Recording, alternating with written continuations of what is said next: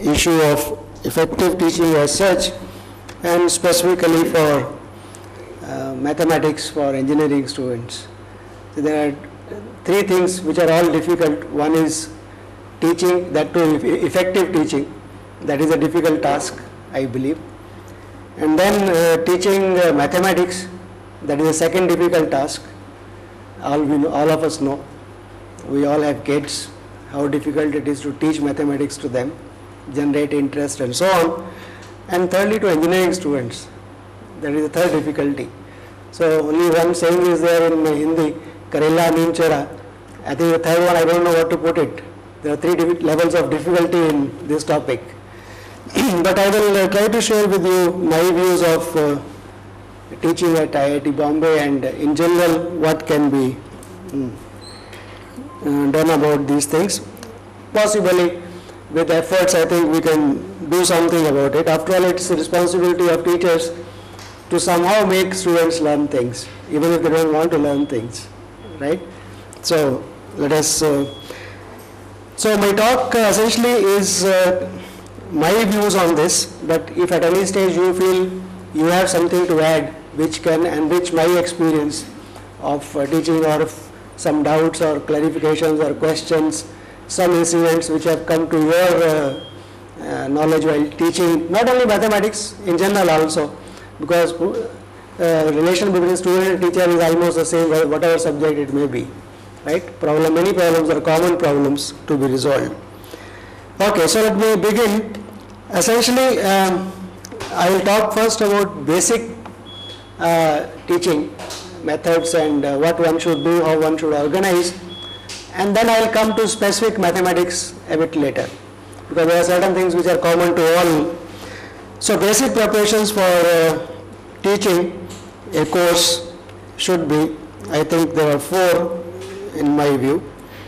One is uh, planning, second is teaching methodology, third is planning and conducting assessments, and the fourth is uh, what we call as tutorials.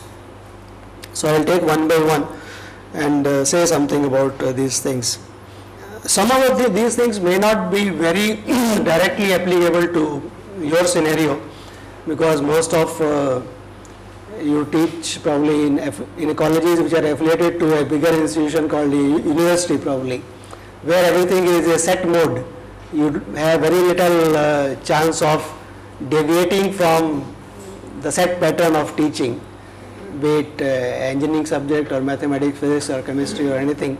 There is a set pattern of uh, syllabus, there is a set pattern for exams, set pattern of evaluation, you have a very little chance. You have to go, you have to go and fit yourself into that slot of a teacher. Rest is all fixed by the university. But even then, uh, if you get a chance to experiment and probably uh, do something about these things, I think that will be a nice thing. There, is a scope for even in a uh, set mode, you can add your own touch to teaching. I feel so little effort is required. So let me go one by one. Look at the planning aspect of uh, a course. So um, as I said uh, in a university level, yeah, this is uh, which is not normally done. For example, for uh, even if a university is conducting a course or you are affiliated, students just come to class, they don't know what is going to be taught, how long that thing is going to be taught, right? They just day to day basis kind of thing. They come for a lecture, you teach them whatever you have prepared on that day, right? They take down notes or whatever it is and go back and then you say on that day there will be a test or an exam and so on. So they go through that kind of thing. It's like traveling in a train, right? Some people just come and sit in the train and as the stations come they do whatever is required. And some people beforehand traveling they get a timetable of the train, schedule of the train train is going to pass through which routes, which stations it is going to pass through, at what station what will be available to eat or not, right? When the dinner will come, when chai will be available, such kind of things. So I think a person who has this knowledge, right, about timetable and such things, is enjoys his journey more than a person who just comes and sits in the train. So that is the analogy I would like to give. So my, from my point of view, we should try to provide optimal course information which is meaning, with meaningful expectations uh, uh, for students. See, what is the course about? What are the course contents? What you expect the students by the end of the course, right?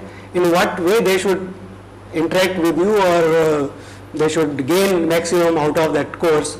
If they know beforehand, probably some of them will be well prepared to receive your instructions rather than just go through the thing.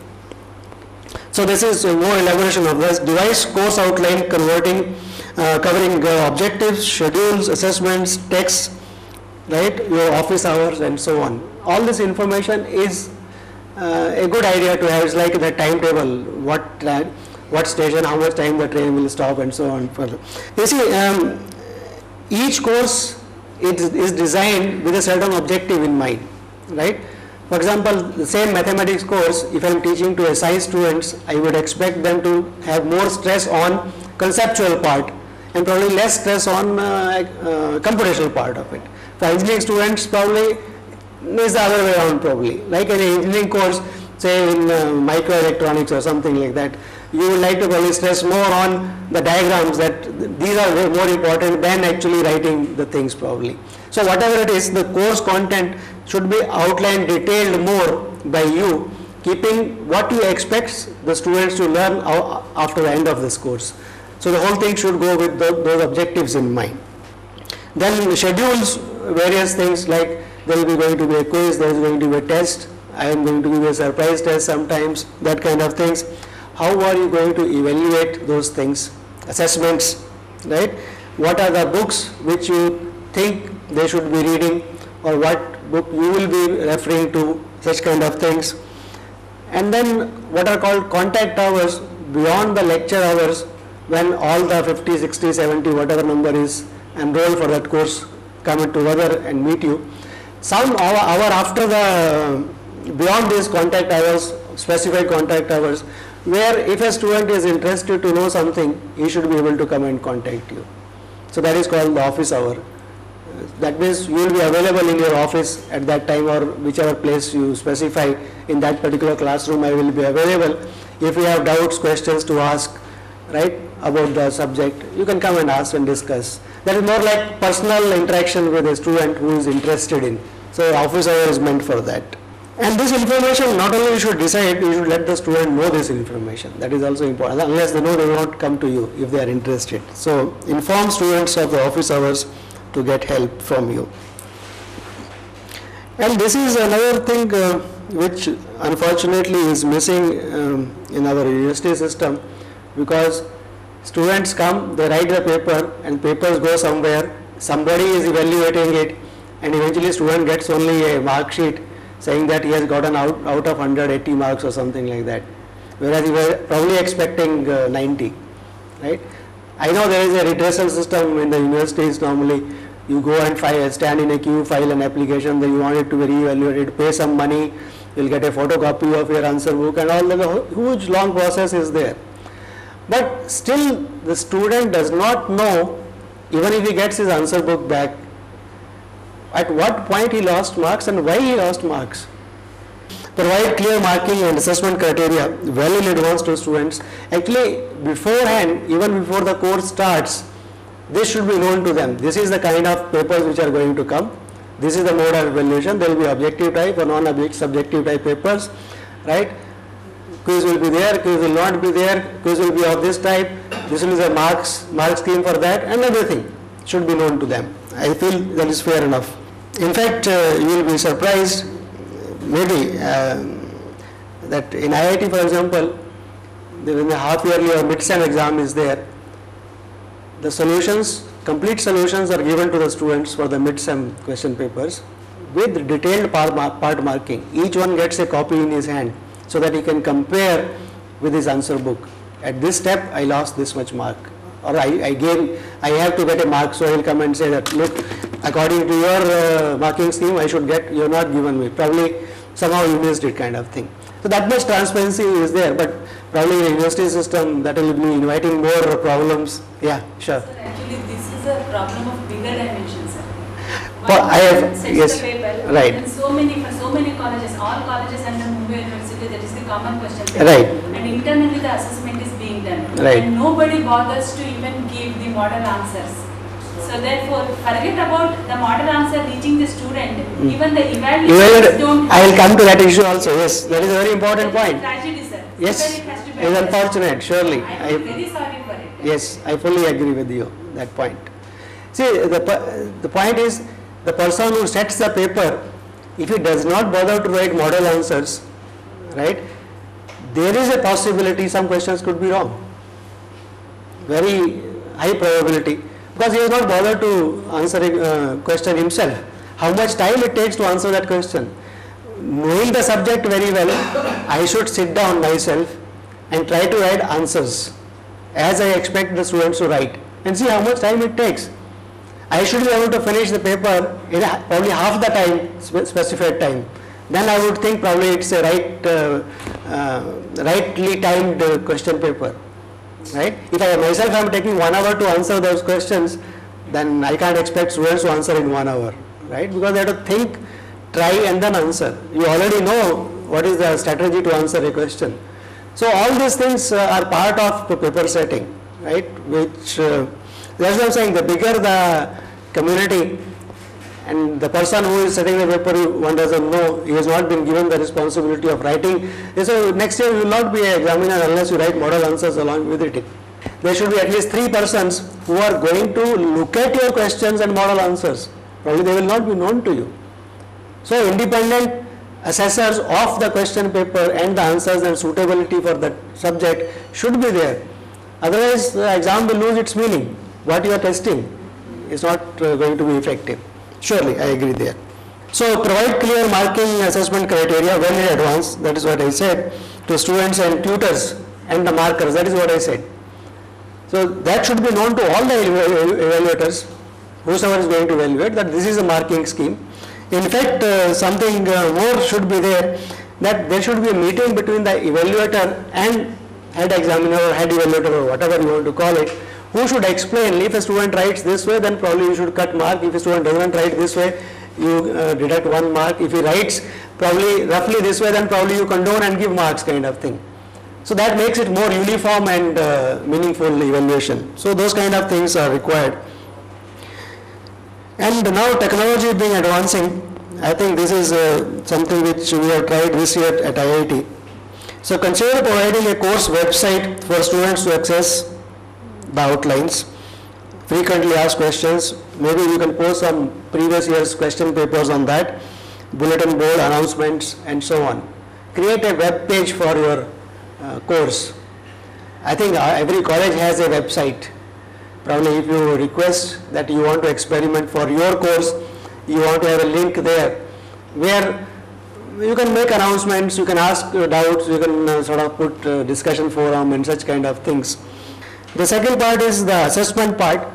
So that also should be planned well, well in advance. So your, all your uh, uh, assessments should be aligned with the objective of the course, right? So if you want to test conceptual things, then you should be giving tests which test the conceptual part of understanding. If you think your course stress is more on the computational part, right, then accordingly your tests should be giving questions which are of computational type. So all your assessment should be uh, aligned properly with the objectives that you have set for the course or set by appropriate body. So, uh, as I said earlier, make assessment criteria, part marking, etc. explicit to students also, not only to the evaluators but to students also it should be known beforehand. Discuss device marking schemes, criteria for mark distribution, etc. with the evaluators also, so that they are very clear what award we are going to give to a student for a particular answer. And this is another important thing. As far as possible, it should be uniform. Same answer book is being evaluated at one college and another college for the same question. Something is being condoned, say arithmetical uh, errors, plus minus signs. In that center, they say we will ignore that and we will give marks. Other place they say no, no, we will not ignore it. We have to give, we will cut marks for that. So the same question, right, written differently, students are getting uh, different rewards for that. So that is what is called uniformity, right? And that is possible if it is already discussed beforehand and everybody tries to follow strictly that mode of evaluation, right? So that is uh, the reason why we feel that they should discuss with the others also. And then of course, uh, always there is a chance of human error is always there, right? So there is a possibility of uh, remarking that re-evaluation chances should be there. And actually if possible there should be somebody who should be doing random uh, checking of the answer books, random evaluation which are already evaluated, right? Head examiner or whosoever it is you want to call it, probably 10% of the answer books he should go through again and see whether that person is doing the job properly or not. If not, he should go and tell look, you are making this kind of a mistake in evaluation, please correct, right? Realign your um, evaluation process. So that is uh, very important. After all, uh, all our education system is uh, exam oriented from standard 1 onwards to whichever career you take, it is all exam oriented. A student, whether he is intelligent or not, is measured by how much marks he has gotten in the exam. But that is the system we have adopted, right? Everything is exam oriented. Teaching, there is a coaching, the, the books, everything is exam oriented. How to excel in exams, how to cross over that hurdle. Everything is geared towards that. Nobody is bothered about whether the subject you are teaching is understood by the person or not. Exam is there to test how much you have understood. It has become other way around exam is a hurdle to be crossed and how well that is, whether you understand or not, that is not important. So, for that reason we should be very careful in evaluation also. Then there is uh, something called tutorials which uh, I don't know how much it's followed in uh, a university system.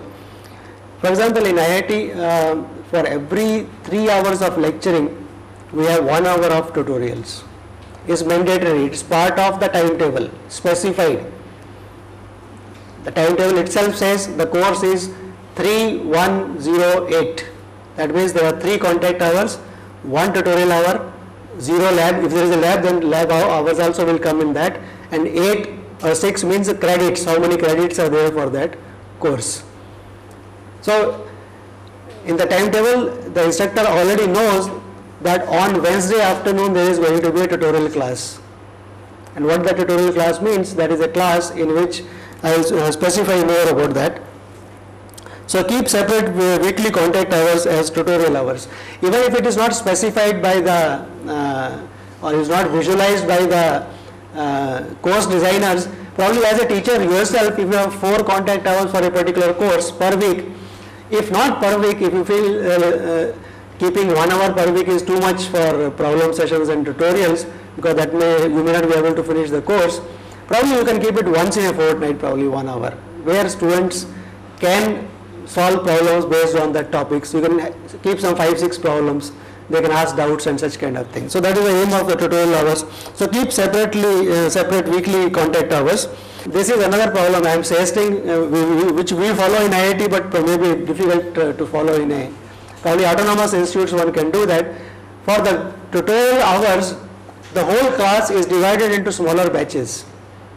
So that means what? If the class is consisting of 100 students and you want to divide them into three batches, that means you have to have three persons who are going to conduct those, either you yourself conduct three extra hours, right, which will be asking too much from a teacher anyway.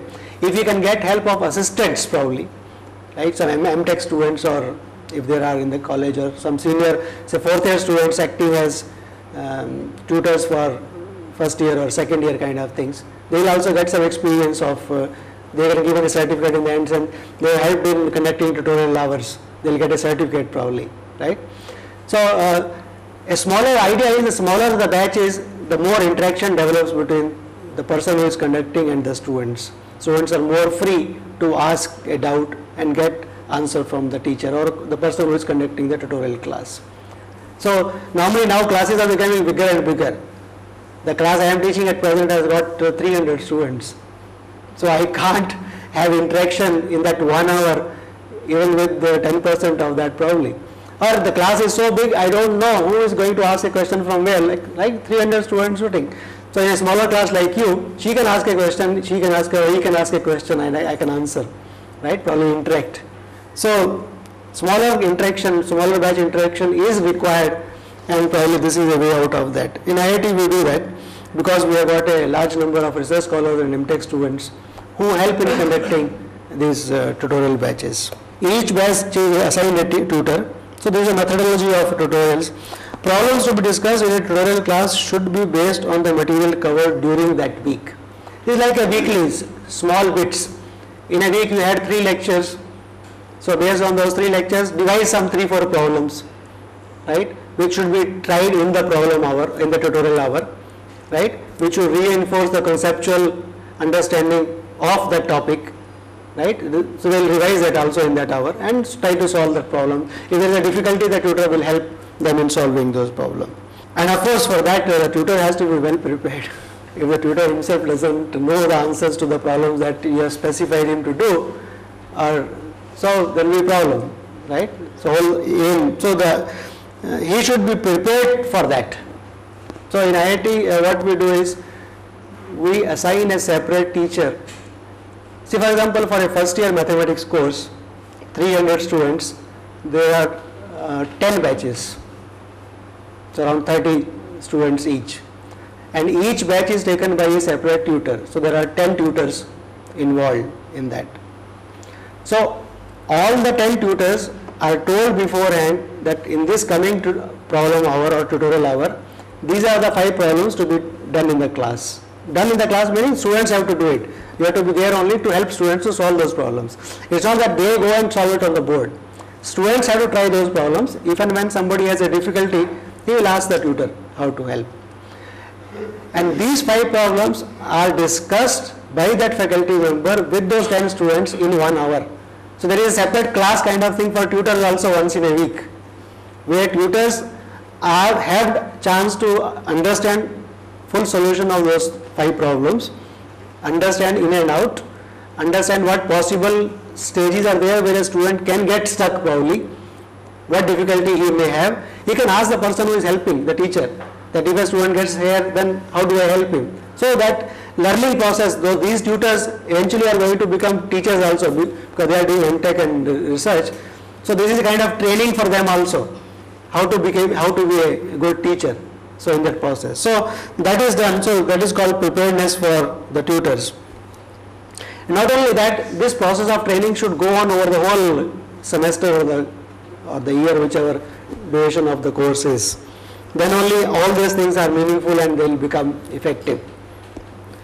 And uh, it has been tested and it works very well in IIT. So that's why I am suggesting that if possible, if a chance comes, you can try to implement this. If not at that scale, probably once in a month is okay probably. You have one tutorial class in a month, right? Where you devise say five or six problems based on the material covered and have kind of a students come and sit and try to do the problems kind of thing. So depending on the opportunity, one should do that. So these are the uh, evaluation of uh, how good the tutors are. I think they also have to be evaluated, their performance. Otherwise, they will say, nobody is bothered whether we do well or not in a tutorial class. Let us just do it, that's all. So we have what is called a evaluation at the end of a semester for each course. Right? In that evaluation form, it is anonymous. Questions are asked from students about the teacher, the course content, interaction in the teacher with the students and many other things. And then there is a separate section about the tutors. Who was your tutor? What do you think, how you conducted the classes? was he helpful or not and kind of things. So performance of a teacher is also, uh, of a tutor is also evaluated along with the teacher. And at the end of uh, the semester, a report comes to the person who is teaching that uh, saying that this tutor had performed this well or this well. So he gives it to the tutor that sheet. So look, this your performance was satisfactory, very good or not. They also feel encouraged that uh, and that can go into giving them a certificate later on that they have helped in uh, these tutorial classes which will help them in getting a job of course in case they go in teaching if not at least it helps them to understand that subject well in any case okay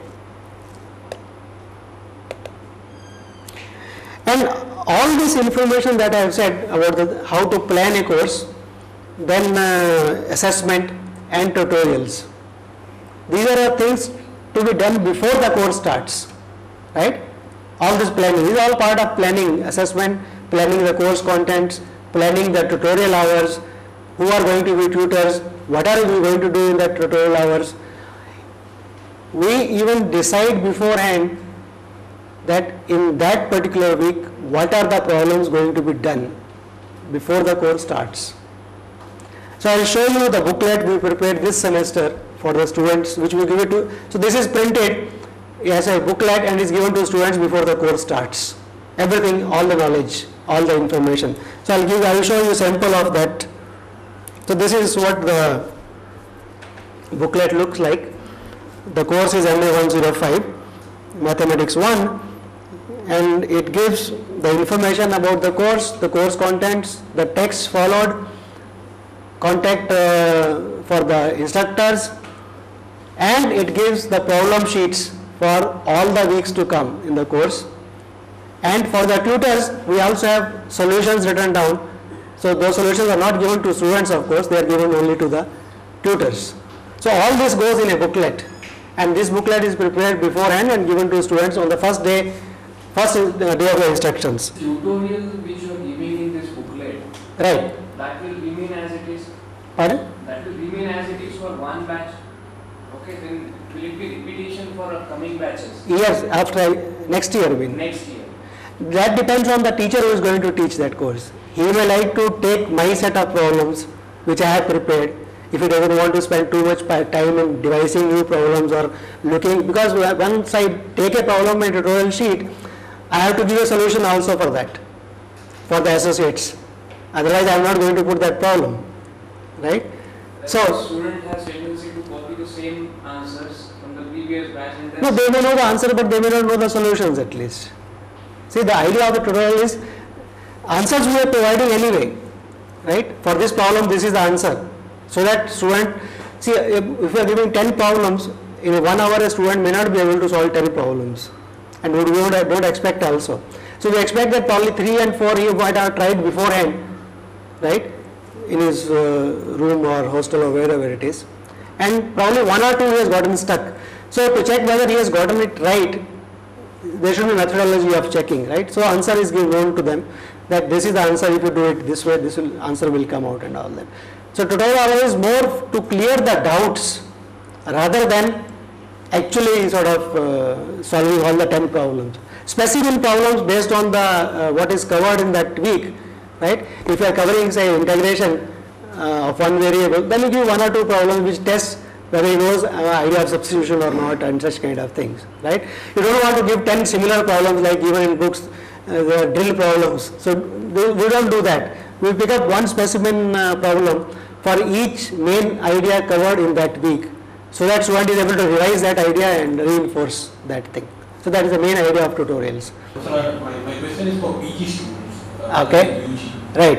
Uh, in PG students, do you uh, give individual assignments, individual tutorial, rather than like this tutorial sheet, whatever you shown us, Right. that is for the whole group of students, maybe 300 students this year, Yes. right? Right. But sometimes it may happen, uh, they'll work in a team, one person will be dominating in a team, Right. he, he may be getting all the ideas correct, Good. he will be solving that, Right. and others are simply copying it. Fine.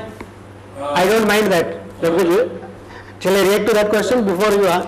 I don't mind that because learning should not be taken as an individual activity at all.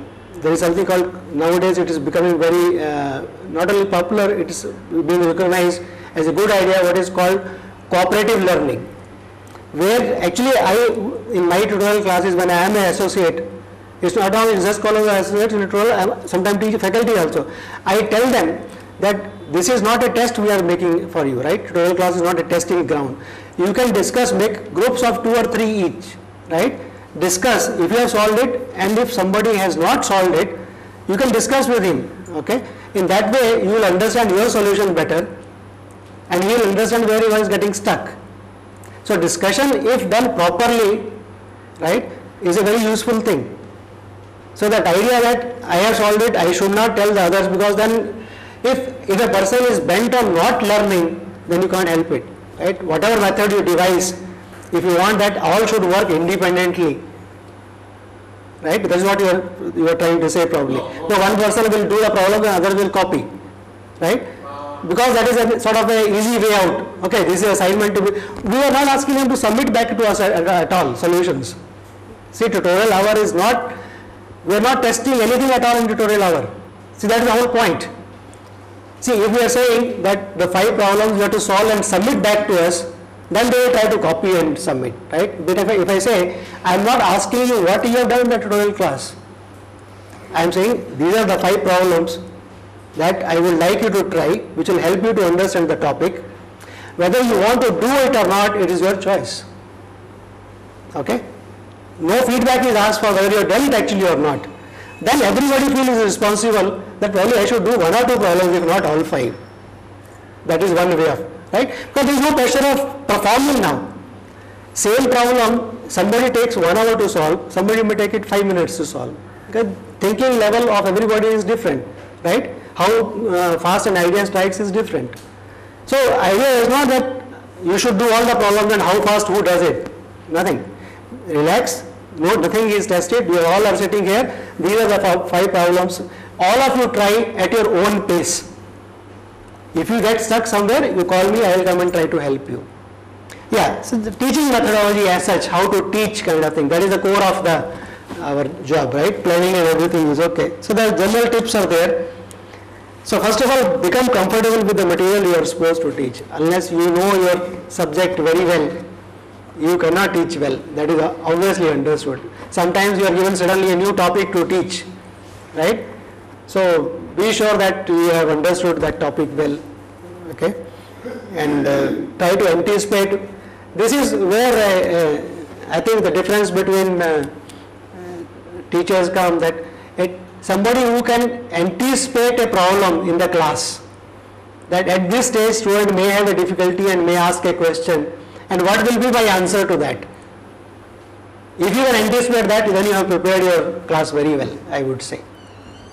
Right? So that is uh, uh, one thing how to prepare about uh, so this is another thing like uh, if a class is of one hour a student's uh, time span of attention concentration is maximum 10 to 15 minutes right? Beyond that he'll start talking to somebody else or do something and try to disturb the class probably. So every 10 to 15 minutes do something which will break the uh, monotonicity of the class. Doesn't should not become monotone right? So normally what i do is i just stop and say ask a question. Do you think do you think this is some come have a discussion. Regular lecture now suddenly come to a discussion about 2 3 minutes. Or tell something else so that the mode is broken. Students have something different to listen to and then go back to your class right? So 10 to 15 minutes if you can show some visuals to them in their class about something do that. Means eh, that depends on the topic and the teacher. But this is a common known fact i think you can see it on tv also. Say yoga asan uh, program is being shown to 200 300 people. You'll see that that person does not show the s- asan continuously. But at 10 minutes he will show the asanas and how to do it and suddenly he will go into some chat chit chat. Right? They know that concentration of the audience you can't hold it more than 10 minutes 15 minutes on one particular point. You have to give a variety. Right so that kind of thing we should be also doing it in our teaching also to retain their interest. If possible in a class of 300 also i try to do it. 300 students are there i try to make it interactive. I suddenly ask hey red shirt student tell me what this means. He doesn't know who i am asking but 300 students who i am pointing to. But somehow they get the idea and now they start interacting. So interactivity is one thing. Because that way they feel involved in the lectures if they see most of the time teachers back only that is writing something on the board and students are copying taking notes then the whole idea is gone of lecturing. And you should target the average that is what i said you should target the average student in the class. But now and then do throw in a question which will fire a good student right? Not everybody may try it you just say leave an open-ended kind of remark okay think about this question. Some good students will think and probably come back to you after the class this is one thing probably uh, taking your lectures, you will be following a book probably. But what is written in the book word by word, if you try to do it, then students will, the same thing is given in the book. Why do I come to class? You have to add your explanations also to that topic, right? Your way of interpreting what is written in the book. Your touch should be there. Then only students will feel interested in learning from you. Otherwise, they'll go to the book and read it. Finish, right? So avoid as much. Have your carefully prepare your lecture. That is what I mean. Carefully means that in that lecture, what is the main idea of that lecture? What topic you are going to discuss? How many examples you are going to put to illustrate that idea? How much you are going to explain? Right? All those things. That is called preparation for the lecture. And this is what I have not done today. For a 60 minute class, prepare only for 50 minutes. Because you think you can do it in 60 minutes, but when actually comes, you will be able to do only, only of 70% or only 50% of what you have planned. Right? So probably my thing will go into three lectures if I, what I have prepared to show you. But so this is normally, because keep 10 minutes for interaction, questions, right, and such kind of things. And if possible, I, I try to do it quite often. When you start a class, just two minutes. So last time in the last lecture we had done the following, just revise. Then a continuity kind of thing. Like in serials now on TVs, they show you a recap before the actual serial starts, right? And in the end, they show you what is going to come also, one minute. So that is what I mean. So start revising a bit, one minute to bring in continuity, to bring them in the mood of what we have been doing.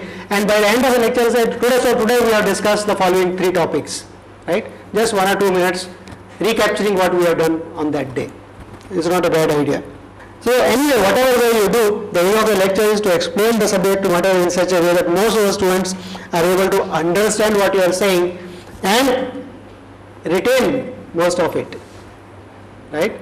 That is uh, how much they understand and then able to retain what is explained.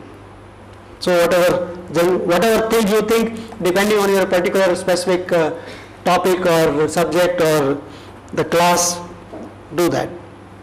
So if that is objective, then it will be. And final thing is prepare, prepare, and prepare. Even if you prepared the same lecture 10 times, there is no harm in preparing for 11th time also. I, I must have taught calculus by now, I think 15 times. But whenever I do it again, again I prepare for the same class. Because while doing it, you see, topic is same, the concept is same, but when you are taught it over the years, you see that a student got stuck at that problem. Uh, he asked me that doubt. So how is that step? So how well can I explain that concept in a different way? So I have to think now. So that is preparation, right? So it is like uh, elephant being presented, that old story, right? So how to make him understand the elephant is not just uh, four pillars, it is something else. Or it is not just like a rope, it is something else. Right? Unless a student has asked you a question, probably you think elephant looks like elephant to everybody. Right? So the experience will come that, oh, he may look at uh, the legs only, he may feel the probably the stomach and say it looks like a drum. So how to make him realize it is something more than a drum. So that kind of thing. So there is no end to preparing. Even if you see uh, the actors who perform on the stage, even in a, even 100 performances of the same play, for 101th also they will go and rehearse. Even it is the same play, same dialogue, everything. They still will rehearse 101th time also if they have to give a show. Why? I think like giving a lecture is also performing on the stage, going on the stage, performing in front of so many people and the dialogue will be different, audience will be different, questions will be different. So we have more challenging task. So we should prepare. Right? There is no end to preparing. So there is something now math specific. I think I have around 10 minutes more. Okay. So first of all, it should not be taken for granted that engineering students understand the need to study mathematics. They study mathematics because in the curriculum of engineering there are five papers in mathematics which the university has put and they have to clear those five papers and hence they have to attend the lectures of those five courses. That is the attitude taken by students. It's not they think that this is required for them to become a good engineer. Mathematics is required or physics is required. I want to become an electrical engineer, engineer. Why should I study mathematics? I am studying electrical engineering. I want to be a chemical engineer. What mathematics has to do with chemical engineering? Right? They don't know these things at all. So somehow before we start, so this is math specific now, okay? I am coming to very specific uh, how to why to teach mathematics and how to teach mathematics, those kind of things. So somehow they should be made to realize that mathematics is required to become a good engineer, right? Otherwise, you will be a mechanic, not an engineer. See, what is the difference between a mechanic who repairs uh, cars on the roadside and a and a automobile engineer who works in Maruti Udyog? Both be doing similar jobs probably. The mechanic will take the car to him and the start नहीं हो रही है, so he will say आप start करिए देखता हूँ right? You start a घू घू घू something. Uh, हाँ साहब आपके वहाँ पे प्रॉब्लम है. So he has picked up only techniques of the trade by experience. Probably he doesn't know how the carburetor works. What is a function of carburetor and the whole engine? He doesn't know probably. He doesn't have to know that because his job is only to repair. But an engineer has to know what is the function of that. How can I improve the functionality of that kind of a thing? So that is the difference between the two kind of scenarios. Right? So engineer we have to make him realize somehow that uh, mathematics is required and essential for him. I think this is my very personal remark, don't take it very seriously if you don't like it, that many of them come to engineering because they think they, will, they won't have to study mathematics probably at all or very little of it. Right? So mathematics is Jan Otherwise, I would have gone to probably sciences uh, probably. Right? If I wanted to study mathematics, I would have gone to BSc in mathematics probably rather than coming here. But they don't know that you'll be studying as much mathematics in engineering as a student of BSc would be studying. Right. Especially subjects like mathematics or the subjects which involve a lot of uh, problem solving, which Right. problem solving skills. Right. In your regular classes, what is your general method of teaching? Whether you uh, solve the problems or you teach them only the concepts or you ask them to solve the problems and give them the solution? Right, right. So, And the one more. And Okay. Uh? How is your exam? yes, so I think most of it I have discussed. Uh, I had four parts in my type planning the course. The second was assessment, how do you assess students. Then there was tutorials, right? And fourth, I was, I was talking to the fourth one, how actually teach mathematics. So the planning, assessment, tutorials, all had answers to your question, namely, um, how do we assess? All methodology I discuss with the people here. Uh, and uh, secondly, problem solving, we have a separate tutorial hour for each course, mandatory to be held every week for every three hours, one hour of problem solving is there. That is done. How it is done, that also I discussed. Right? There are tutors, smaller batches are there, tutors are there, and so on. So the only thing probably which I have not answered till now is what actually actual actual lectures look like. I'll show you one. I had actually thought of showing you five slides, but I can't show you all five. So probably I'll show you one of them. So we teach a topic called uh, about sequences in mathematics. So this is second lecture. So this, is my actual lecture slide I am showing you. I am teaching this semester and this is the actual lecture slide I am showing you. So second lecture starts like this, okay? So it will be, right. So now, uh, first I will tell them what I am going to discuss in this lecture. That is, what they should expect in this lecture to be discussed. So this is the kind of thing, okay? And then I come to the actual topic, right? So there is a notion of a sequence in mathematics, right? What is a sequence, whether it's convergent or not, and so many things are there. So to introduce why the notion of sequences should be at all taught or should be considered, to motivate that, I look at this, uh, uh, I tell them that look, any iterative process, experiment that you do which you are repeating again and again, give you information, right? Every time you get information about that. So that is ordered collection of observations, right? So that is a sequence of observations that you are getting. So a, a typical example is you in mathematical example is you wa- want to find the area of a unit circle, right? Now here a bit of interaction also comes in. I ask the students if you want to find the area of a unit circle, what it will be? How do you find it? Prompt comes the answer. It is pi. Right? So what is there to find? The answer is pi. Then I ask them, what is pi? This in a 300 class I did that. Okay. What is pi? Say you cannot determine that. Many have have heard that it is an irrational number. Then you are not giving me the answer. See now you realize what is the area of a unit circle? They say it's pi. And what is pi? You can't tell me what is pi. So there is a problem somewhere to be understand to be understood, right? That the area of unit circle is not pi which you can find. You can only approximate it. And how well you want to approximate that depends on you. So you have to iterate your approximations. And here is a method of iterating. So I show them this clip. Because for a rectilinear figure you can find the area. So in the circle you inscribe in the circle rectilinear figures and you, as you increase the number of sides you see that you are filling more and more of the required concept of area. So you are getting better and better approximations.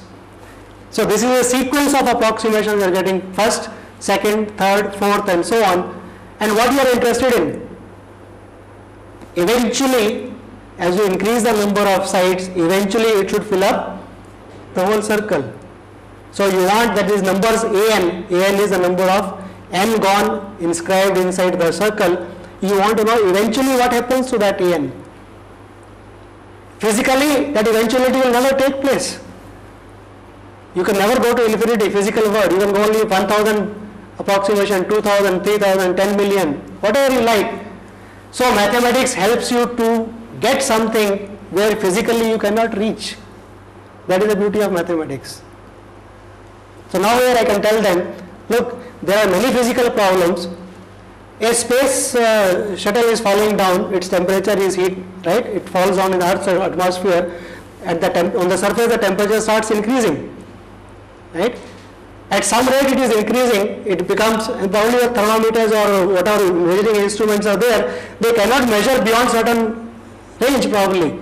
But you want to know what will happen after one hour. What will the temperature be? Your instrument can measure only up to 200 degrees, say whatever something, okay? But the temperature may go much beyond that. So how to predict that uh, what will be the temperature after some stage, after 10 hours of falling, after 50 hours of falling, which is not, you are not going to actually physically go and touch and measure. But sitting here you want to predict now. So that is beauty of mathematics. That is how mathematics come into picture. So the simplest example is to define the area of a unit circle, which you cannot measure any way, right? You take a sequence by approximating this and try to understand what is the limit of this sequence as number of observations become large and large. I don't spend that much time in my class, but this is the sort of actual slide. So then you go on doing some examples and so on. Okay. So I think let me let me not do too much